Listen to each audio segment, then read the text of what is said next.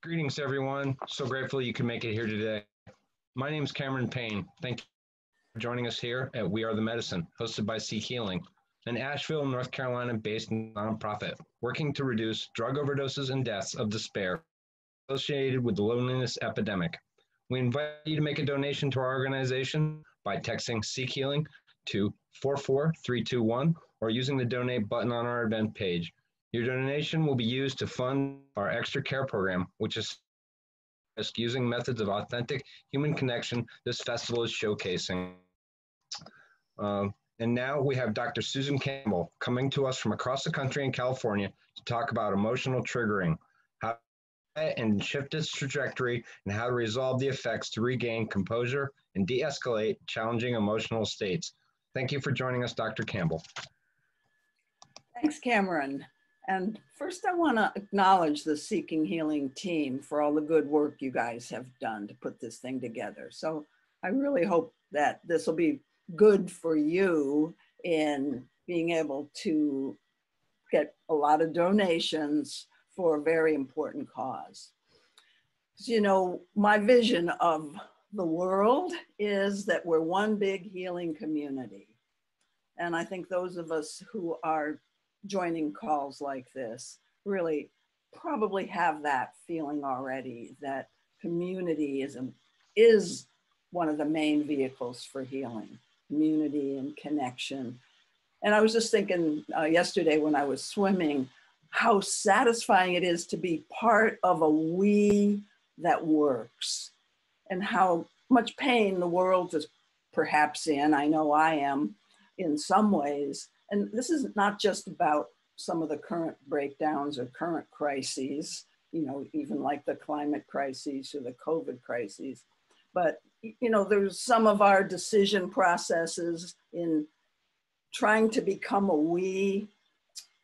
We're, we're, we're, falling down on the job in some ways, but there's some ways like with, with the protests about Black Lives Matter right now, there's, there's something satisfying about becoming a we, a worldwide we that actually is functioning well.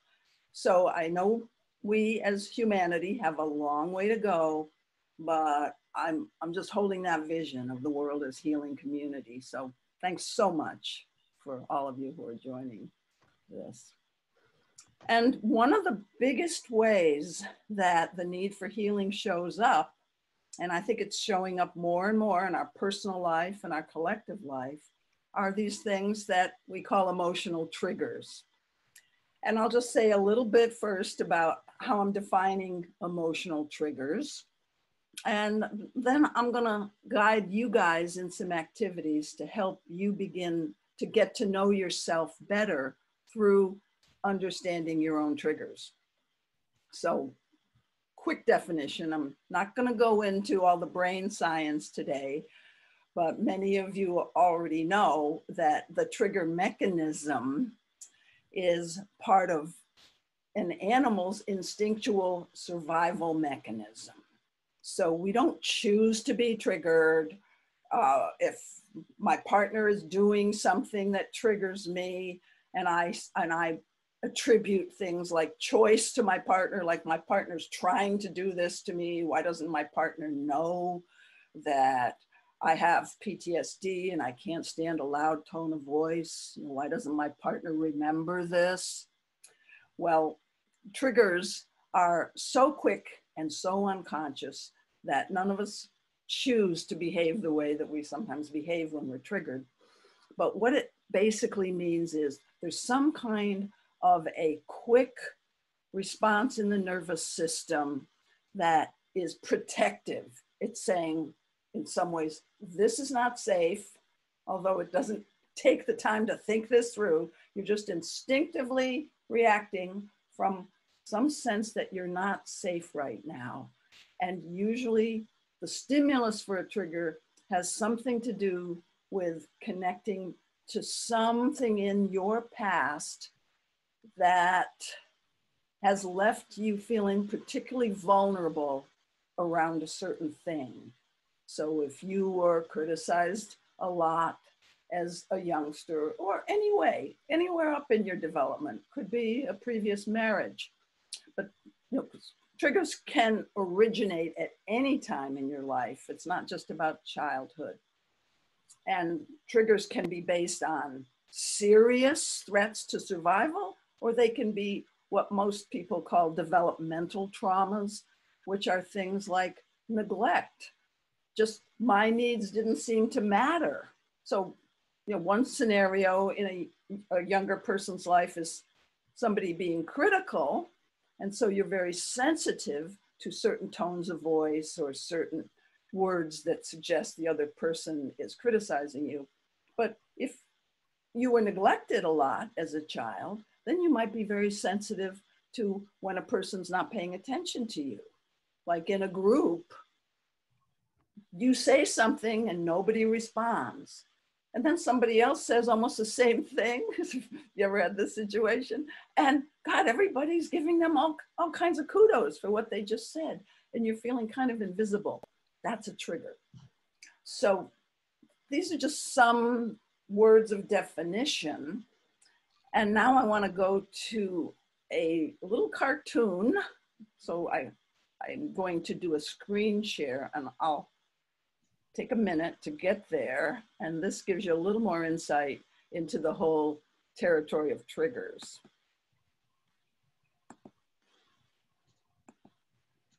So here's a guy at the florist buying some flowers and the caption is, I need something that says, I'm sorry about that thing I said that caused you to totally overreact. Okay, so a lot of us probably are more sophisticated than this man. We know that calling somebody else's reaction an overreaction is simply, I'm triggered too. See, if you're judging somebody else as having an overreaction, that actually is a tender place in you that I'm trying to help everyone understand that anytime you have like resistance to a partner's reaction or judgment about a partner's reaction, you yourself are triggered. Some of us are going to have to learn, some of us have been through relationships where we tend to see it as the other person's problems. You know, if there's a if there's a trigger, it's, no, it's not usually the other person's trigger, not my own. And there are certain dynamics that will lead you into that kind of a relationship. And I'll be speaking about those later. And I'm going to stop this screen share now. But I just want to say this is a very popular view of triggers is that some somebody is overreacting and I'm in relationship to them and I'm just trying to keep the peace. So very often opposites will attract in relationships. So I may be a very toned down, reasonable person, and I may be attracted to someone who's a little more fiery. So there's always going to be two different styles kind of misinterpreting things like tone of voice. Maybe the person who's trying to get the other person to quiet down has kind of a flat tone of voice, and that will trigger the more fiery person who's used to a little a little more connectivity through energetic exchanges, not this flat type exchange. So the, the more fiery person might feel I'm not important, I'm not being heard, there's a disconnect here. And what I want to say is triggers nowadays are not about survival. I think we kind of know this. They're almost always, adult triggers are almost always about a threat to connection with someone that we are very wanting to be connected to somebody who's important to us, a significant other, or our parent, or our child, or even our boss, but somebody that we value the connection and there's been some disruption in connection. So it's really more of, a, of an emotional thing. And remember, most of these triggers, not all, some triggers were based on real threats to survival, like if you grew up in a war zone or something like that. But the origin of most of our triggers is some kind of unmet need, whether it's an unmet childhood need, and that's, that's where most of them originate from. Like that need to feel valued, to feel like when we're all sitting around the dinner table, my voice gets heard. And how many of us weren't listened to as children? So we have some kind of sensitivity around that. And one of the things I want to accomplish today with us is learning a little more about what some of our core fears are, which indicate that some of our core, possibly core childhood needs were not fully met. And so you get triggered in an adult relationship, and that same core fear gets triggered, like my voice doesn't matter, I'm not important to this person. Because a, a trigger in my world is a fear based on some unfinished attempt to get your need met so let, let's say that um, I'm feeling like not heard in the situation. That would be my core fear that my voice doesn't matter. The core need, it's obvious to see what the core need is, is to feel important, to feel significant, to feel that I matter. So I'm going to do another screenshot now that shows some of the core fears and we can indicate as we talk through these, what's the core need underneath this core fear? But I bet you you guys are going to recognize yourself in this list of core fears. Here comes another screenshot.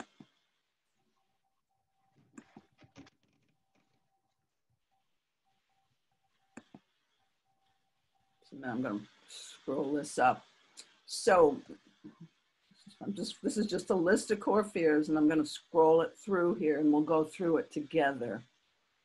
So usually when core fears come up in an adult relationship, this is an opportunity to explore a little bit more into, okay, if I feel into what I feel when I'm triggered, and I'll be guiding you in an activity later on where we pick one of our triggers and then explore it but I think I want to just get some common language first here.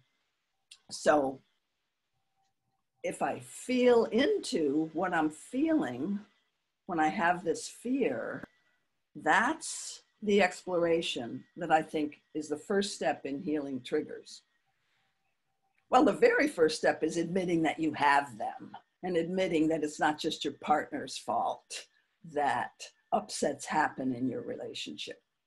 So I am talking mainly about triggers in the context of a partnership of some significance right now.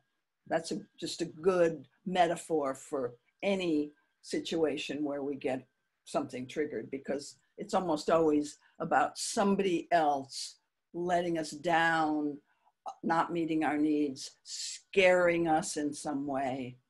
So here, we're going to look at the way fears show up in most humans. So one of the most common fears is the fear of abandonment. And so that is indicated if you're pretty what pretty much tuned in to people moving away from you. When your partner's on a trip or something, there's there's a little bit of insecurity that will come up, or a lot, depending on the, the state you're in about what's going on. Am, am I out of sight, out of mind here? So that, that, that fear that the other person is somehow moving away from you. So just notice, do you identify with that fear? Do you, can you own that that's one of yours? Another common one, I don't have the whole list of all the possible core fears, but these are the main ones that I run into in working with people. Then there's a fear of being controlled. And that might come from early experiences where you weren't trusted and you weren't given a lot of space to try things out by yourself. And children need freedom to trial and error their way through certain problems, but somebody was always hovering over you, that sort of thing, or asking you a lot of questions. So let's say you're now in an adult relationship and your partner asks you a lot of questions. Where did you go? Oh, what did you guys talk about? That might have you start to feel controlled. Okay, so we'll come back to these in a little while and look at what, what might be the core need underneath some of these. And then the fear of rejection. That's a hugely common one. Um, I wrote this book, Truth in Dating, and uh, for a long while in my professional career, I was doing a lot of dating seminars. And the biggest fear that people have, and this is not news to most of you, in the dating world, the biggest fear is fear of rejection. And the second biggest fear is fear of having to say no to somebody and have them perhaps feel rejected. So I think we can we can all feel both sides of that one. And then there's fear of criticism. I mentioned this in my early comments where you're very sensitive to somebody indicating that you're not like perfect or you did something wrong or you made a mistake. And so you'll quickly get on the defense if somebody's, you know, like at work. That's a that's a tough one at work or on a work team where we're supposed to be getting a task done and we're critiquing each other's work.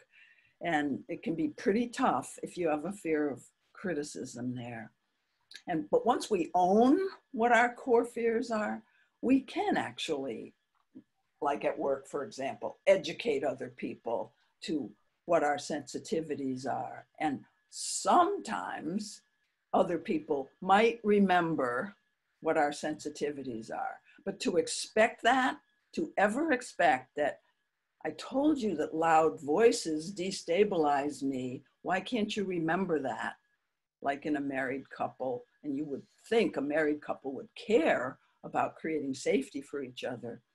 But to expect that another person is going to be able to remember and actually behave according to a conscious conversation that you've had in the past or even several, that expectation is going to have you getting triggered a lot more than you need to be because people aren't naturally wired up the same as their partner.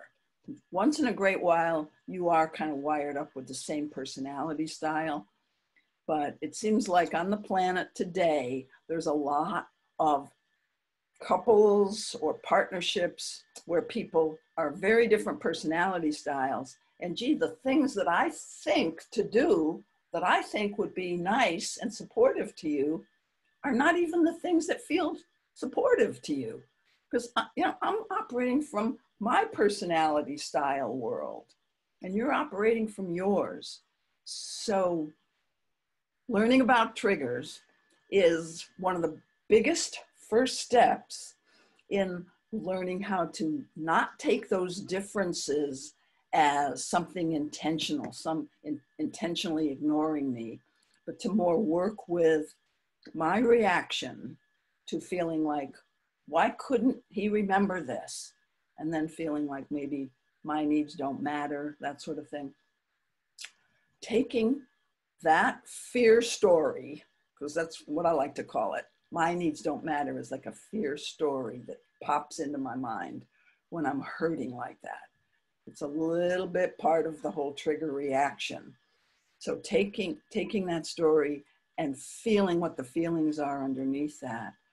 And instead of thinking, I shouldn't have to be in the situation to feel these feelings, because that's the big resistance that most of us have. And that's why we tend to blame and and like the man in the florist shop want to project it onto the partner. That's we just don't want to fully feel my own pain around this is just that's just what's going to get triggered when certain things happen in my life. And if i can own that i have this sensitivity that's what we're doing in this exercise some of us have more of a sensitivity to being controlled some of us don't have much of a sensitivity at all to being controlled. We're more afraid of being abandoned or rejected.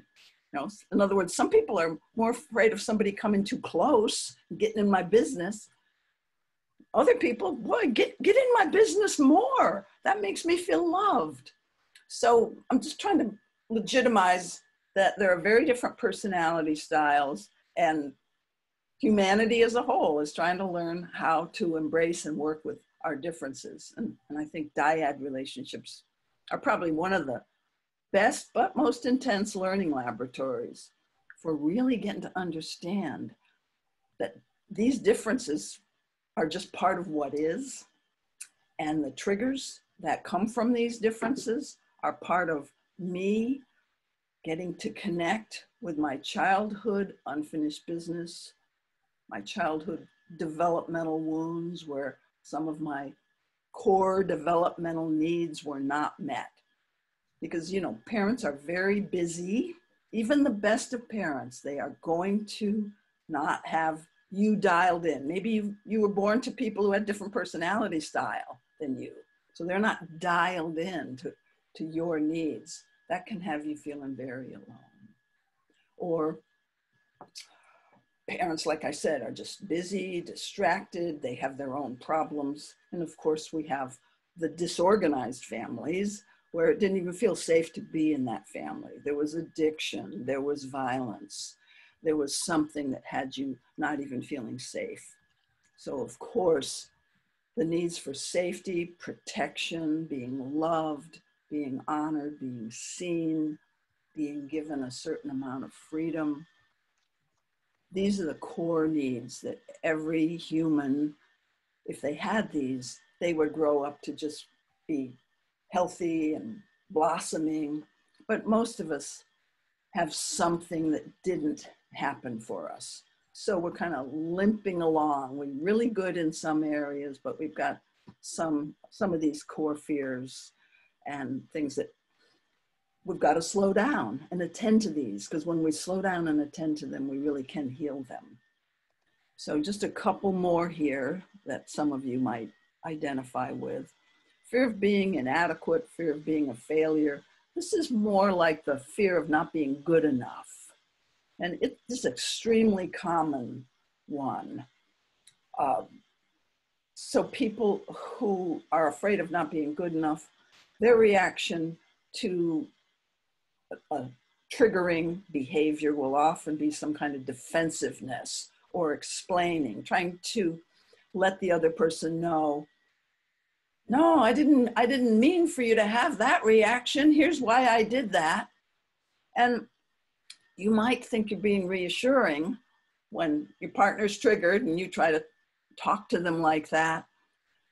But when people are triggered they really can't take in that kind of reasonable explanation usually of course it depends on how deeply they're triggered how long standing that wound is how much they've already done some work to get familiar with that wound. But for most of us, I think we're better off just not trying to defend when there's a trigger, but going, oh, I noticed myself getting defensive. It's my fear of not being good enough getting activated here. Now, how many people have that language yet? It's coming. And just the fact that I'm going down this list right now, and probably most of you can recognize that you do own that you have at least one of these core fears. And I've been working with this material for probably 40 years. I've, I've been a, a psychologist in private practice for 55 years, but I became aware of triggers in uh, one of my marriages and became began to really study that. And it's been over 40 years that I've been a student of triggers. And when I used to go into an audience and ask people about how many people have fear of abandonment, you know, people didn't even know what I was really talking about. Now I can ask people this list of triggers. How many people have this fear? How many people have that fear? And people easily get into the exercise people are raising their hand, they're raising their hand more than once. And it's kind of a good catharsis. Everybody realizes, gee, I'm not the only one that has this. And it's it's definitely a cultural development since I first started working in this area. So good on us. So now I'll just take this last one, fear of being trapped, which is not the most common. The others that I've mentioned are much more common, but some people do have a history where they were smothered and act, you know, actually not allowed much freedom at all. Or maybe they were, maybe it's a little bit related to somebody criticizing them or controlling them. So what their fear is, it could be a combination of being controlled or being trapped. But if somebody gets too close, they kind of lose themselves. They give away their power to other people. So this would be the kind of person who would perhaps shy away from close relationships because you just can't hold hold your own ground. But this is simply, you know, starting out with any of these fears, it's simply a way to begin to have a little more tenderness and compassion to some of your own inner workings. So let's just, so if, I'm going to look at, if somebody has a fear of criticism, what might the core need be there? You can just, I'm just going to guess, and you can just guess to yourself.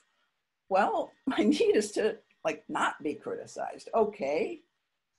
Not be criticized. Oh, to be appreciated, to be acknowledged, that kind of thing. To be valued. Or if my, my fear is of abandonment, I want to know that you love me, that you want to be close to me, you want to be in my presence. And maybe some of us had a lot of that when we were children. You're such a good kid. I like hanging out with you. But so many of us, like I said, parents are busy or they have their own needs. They haven't even learned how to meet their own needs. And one of the things that happens, and I'm going to stop the screen share now. One of the things that happens in families is sure, our parents aren't always able to meet their own needs, and they don't always feel perfectly adequate in the parent role.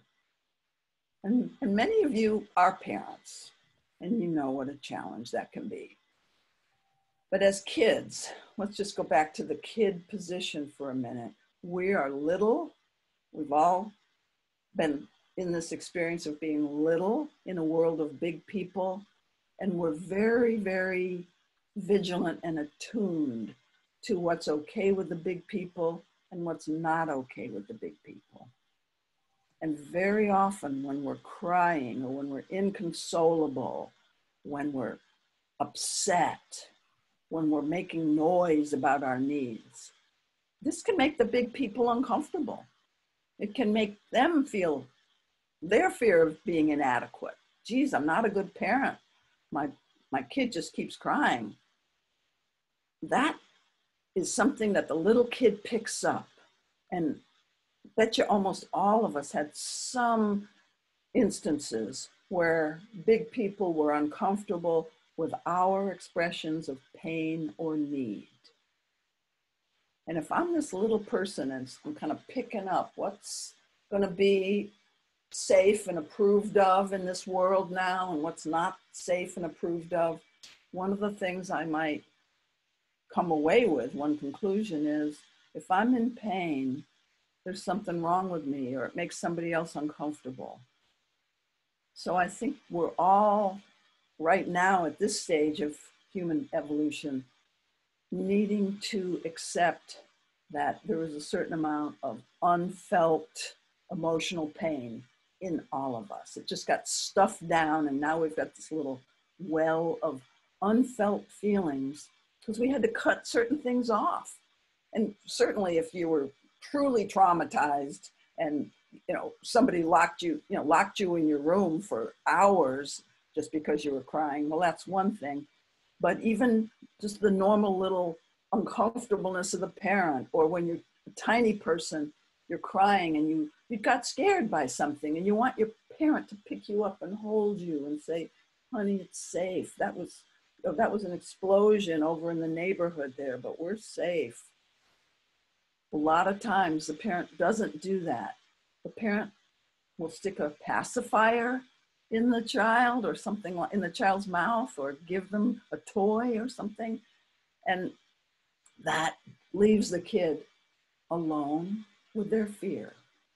So the adult work of healing our triggers, and they can be healed as an adult, whether it's with yourself and redoing your relationship with yourself and bringing in more of the good mother archetype. And as I said, I'm going to be doing an exercise on this in a few minutes, helping you learn to be with yourself in a healing way. And then the other way we get healing is by going to our partner and saying, when this happened, it triggered this old fear that I'm not important to you. And I need to feel like I matter. I need your help here.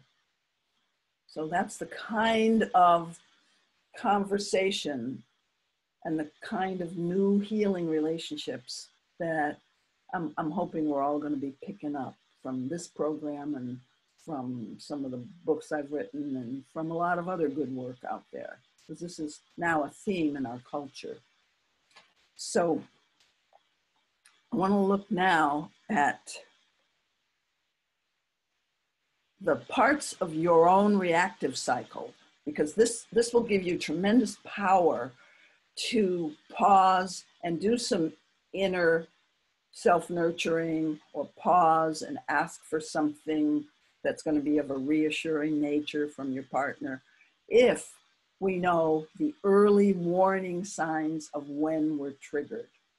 So, the early warning signs have certain elements to them. I'll bring this slide up.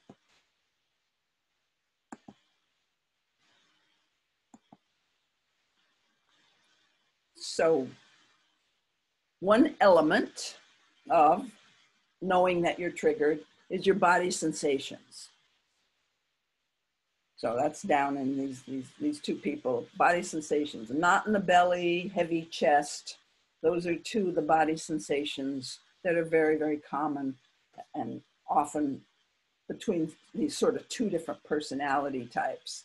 One person who's got more of a fear of not being good enough, and the other person has more of a fear of not being loved or attended to. So that's that's a common opposites attract kind of dynamic that I see in couples.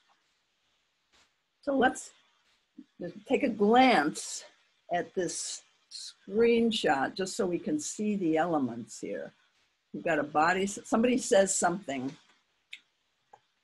So think of a situation where you got triggered. Somebody says something or does something or they fail to do something and that disappoints you. So when I say got triggered, I just, you don't have to go into a huge reaction. When I say triggered, I just mean you have some lack of safety signaling that's going on in your nervous system. And then you'll do certain protective things. Like for some people, the protective things would be to shut down or get quiet. For other people, the protective things would be more like appeasing and agreeing and smiling and nodding. So you can be smiling and nodding and be triggered. For some people, it's more obvious. you you yell, you blow up, or you start asking a lot of questions, making suggestions to the other person. See, a lot of us, you know, we, we think we're making helpful suggestions like I, I was uh, talking to somebody and the woman was uh, telling me how the man didn't seem to have time for her. And so she says to him, you know, so her, her fear of not being important or a fear of abandonment, one of those was getting triggered. But she didn't own it as hers so she's triggered and she says to him, We need to get you to a time management course. Does that sound like somebody who's triggered? Well, I want to broaden your definition of what it looks like when somebody's triggered. Yeah, that is somebody who's triggered.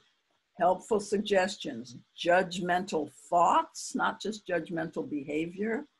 Like, why didn't this person do this? They could have just done it that way.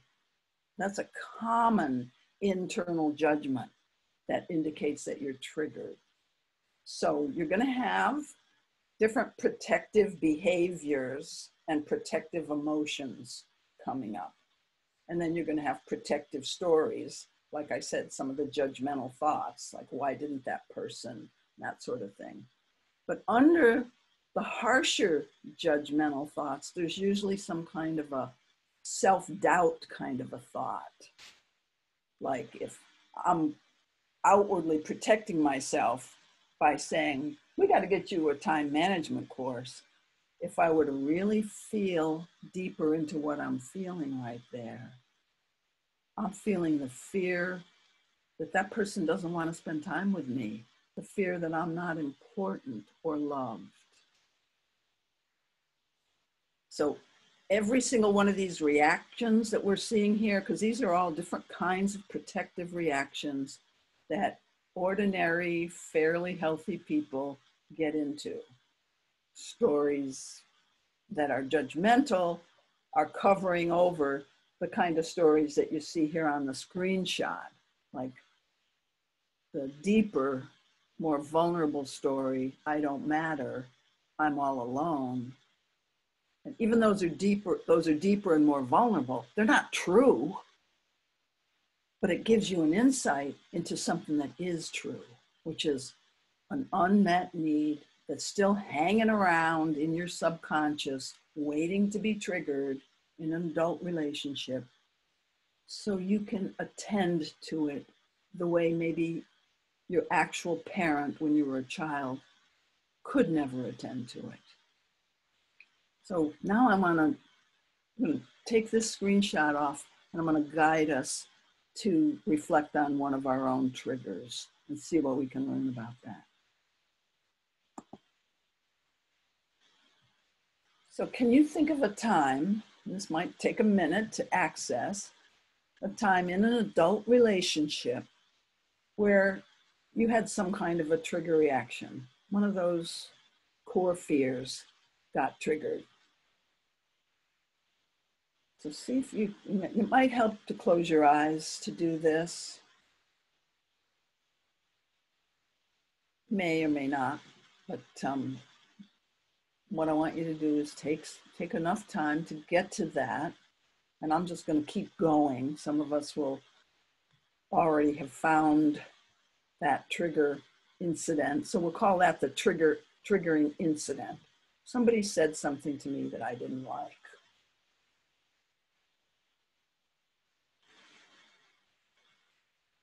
So, what was my reactive behavior? What did I actually do? Did I go into a bit of a fight energy where I started to argue? Did I go into more of a flight kind of movement where I tried to like talk themselves, talk them, I mean, talk them out of what they were feeling, reason, did I go into more of a freeze reaction where I kind of went blank, got into a shock, got confused? Maybe none of the above, but those are the typical tendencies that the nervous system will follow one of those kinds of things. There's, there's also a couple other versions of the freeze mode some people call it fawning, which would be like the pleaser and well, faking agreement with the person. Yes, yes, dear. Yeah, you're right. But it's it's just another form of freeze. And then there's the folding, which is sort of like completely feeling hopeless and helpless and just kind of, I give up. And sometimes your posture will go almost into a fold down contraction in your uh, solar plexus area. So just thinking about that incident, bringing it back to mind, and being a little gentle with yourself when you bring back these memories. I don't want you to bring back something that's like horribly scary and intense. for a short workshop like this. But if, if it starts to feel intense at any time, open your eyes look around. Actually, name what you see in the room, like I see a picture with a brown frame, or feel your butt on the chair that you're sitting on. These are all important self management techniques that we can use to modify the intensity if, if any feelings ever get too charged. So we're first just remembering a situation and we're noting what was the behavior I did. I yelled, I walked out, I faked agreement. I. So just kind of name that. It might even be worthwhile to, to jot some notes down if, if this is the kind of thing you like to do. Then, what did I feel? Was there a feeling? You know, an emotional type feeling like anger or hurt feelings.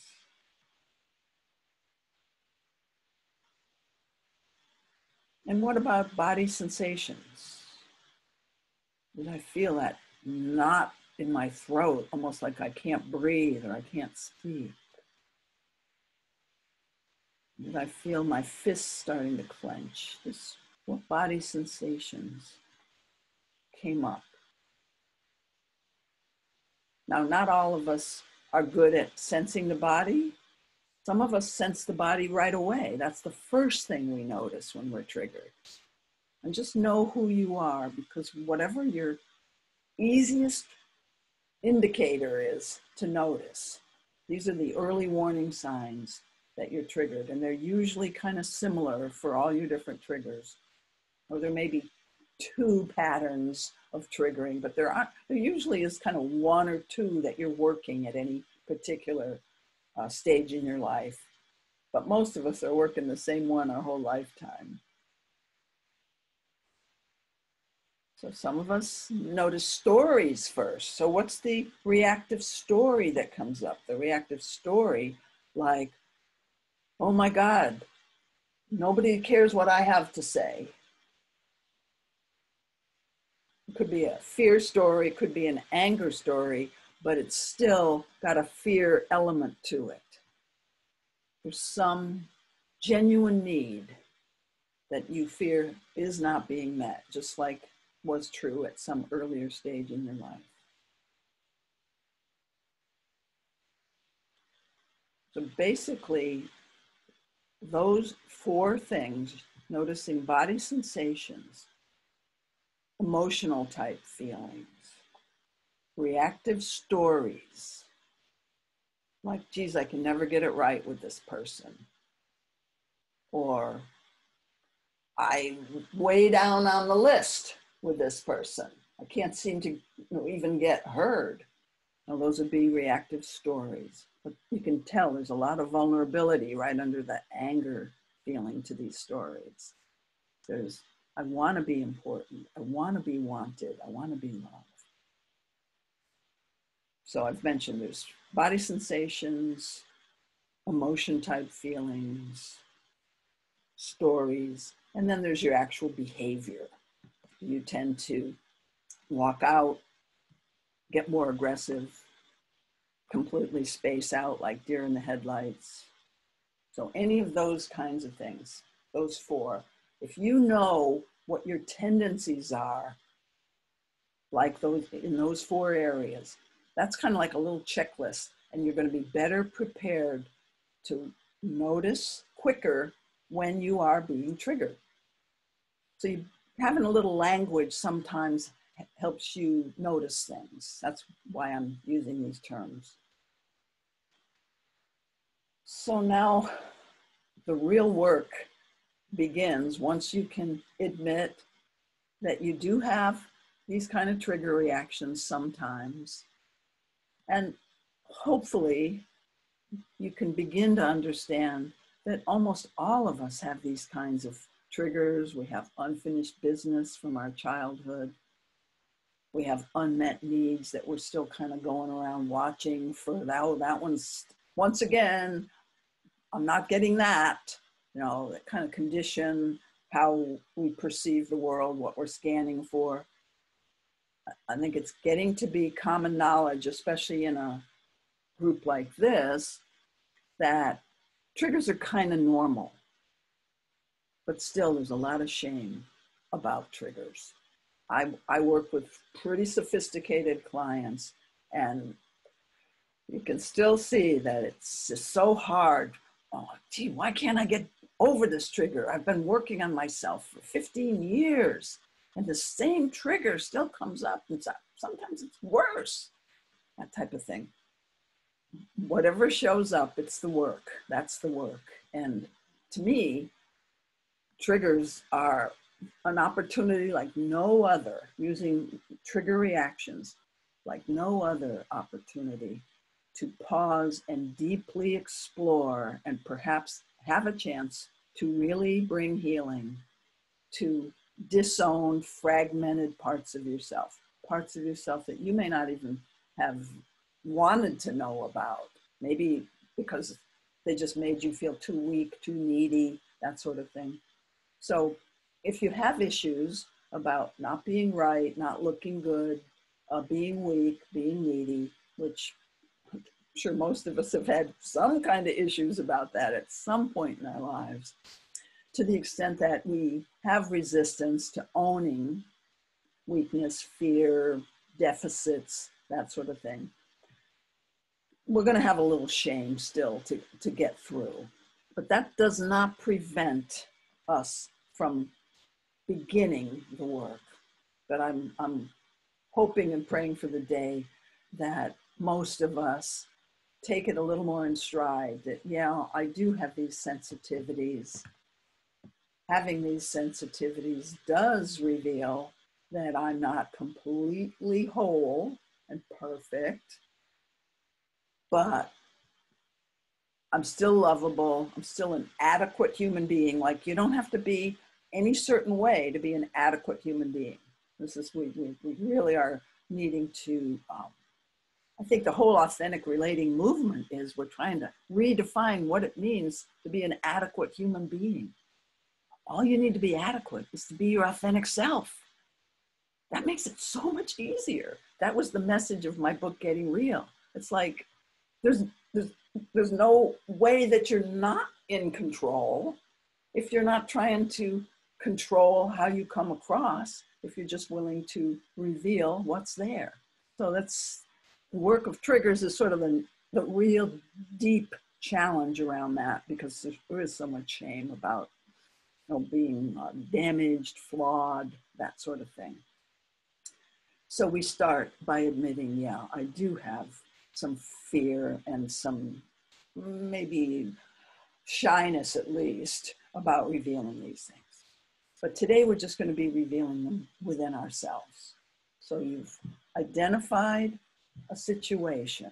So now I'm going to do a guided self inquiry, starting with that trigger situation in an adult relationship. And I'm going to guide you through what I call the compassionate self inquiry process. And, and this practice is written out just pretty much the way I'm going to be guiding you. It's written out in the book Five Minute Relationship Repair. So find a way to be in this chair that you're sitting in that feels comfortable and supportive. Just let your weight kind of start to drop into the chair. And it probably will help to close your eyes now if you haven't done that already.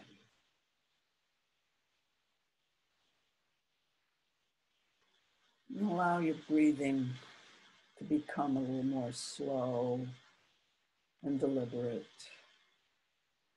This is simply an act of self calming. It's kind of like reassuring yourself that you're safe here.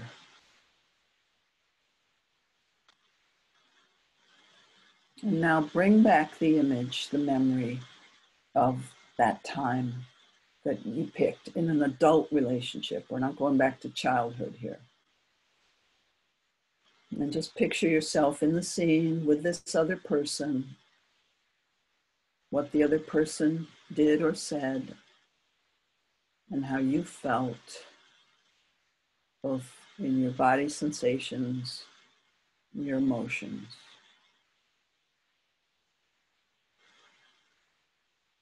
And just continue to breathe as you bring these memories back.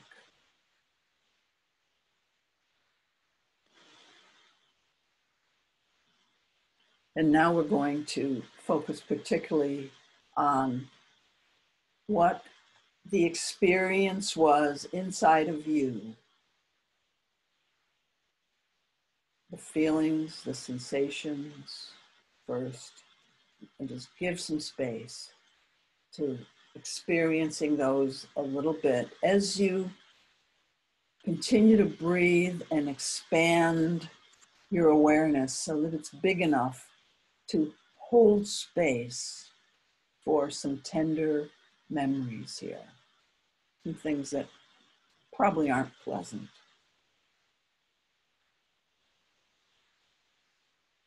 And imagine that as you breathe, you are making more space inside yourself. It's like an act of self support. There's room for these feelings and sensations, and I will hold you. I, this big, spacious, breathing space. There's like a presence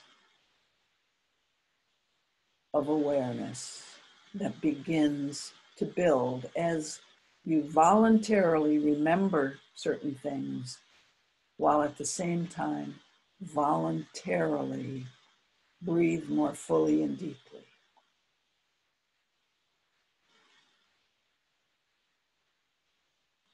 You're building your capacity to hold space for yourself here. So it's almost like there's two angles that are in your awareness at once. There's the angle of I'm feeling how I felt in this memory of being triggered, and I'm witnessing with a kind of soft, gentle spaciousness. And I do think of it sometimes as activating the good mother archetype that all accepting presence that is actually in all of us, no matter what kind of parenting you had. We all have inside of us that part of us that knows how to empathize and that knows what feels good, what we need, what we need from a parent figure so just kind of trust in this natural gift that nature and being human gives us. As you continue to feel into now what were some of those body sensations, feelings, or what was a story that came up.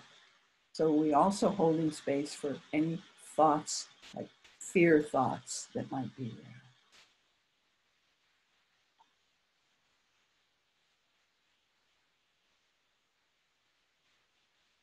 Just notice how this might change or how it might actually feel a little heavier or a little lighter as you continue to breathe and shine the light of awareness on this.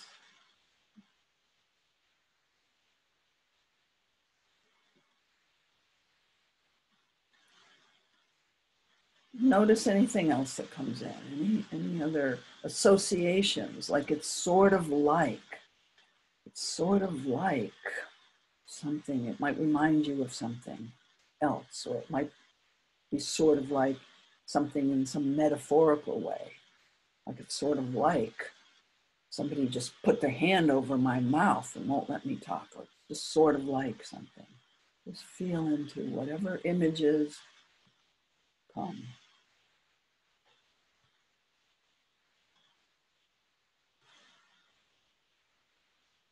And then there might be memories or things that have felt similar Just allow any of this to come if it if it naturally comes.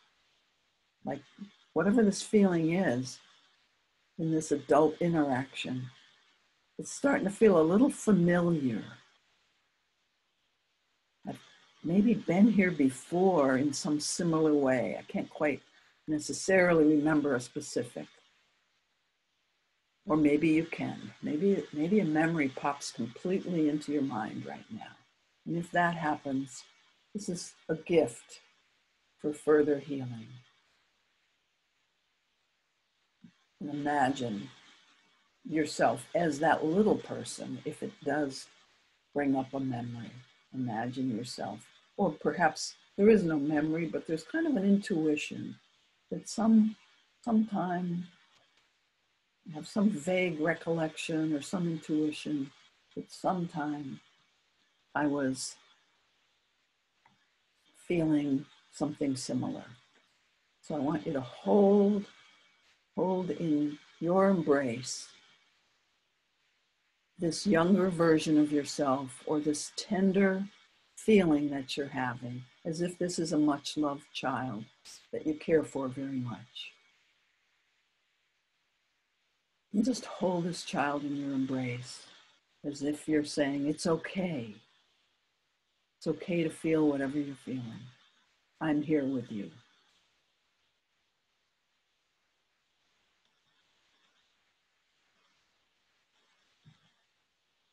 So you're sort of building a new relationship with yourself here.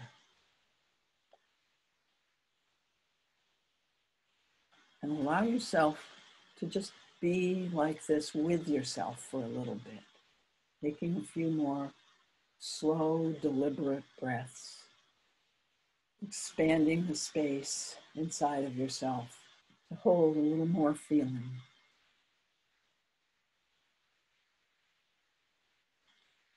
Sometimes it feels good to put your hand somewhere on your body or to hug yourself a little bit, just as a gesture of softening toward that part of yourself.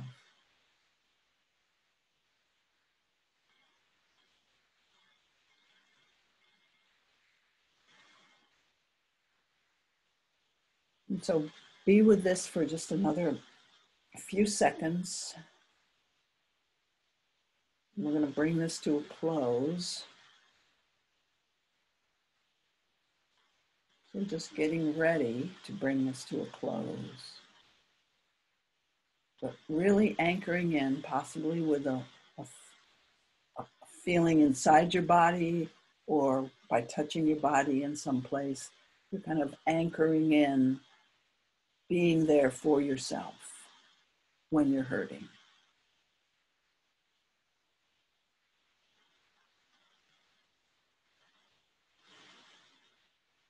You're kind of like, again, no big reassurance that everything is going to be changed or different, but more like you're okay with this feeling.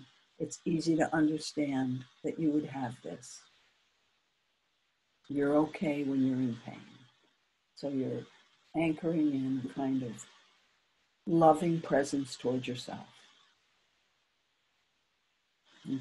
take a few more deep breaths and then we'll open our eyes and just look around and possibly shake your body a little bit here. Stretch. Mm.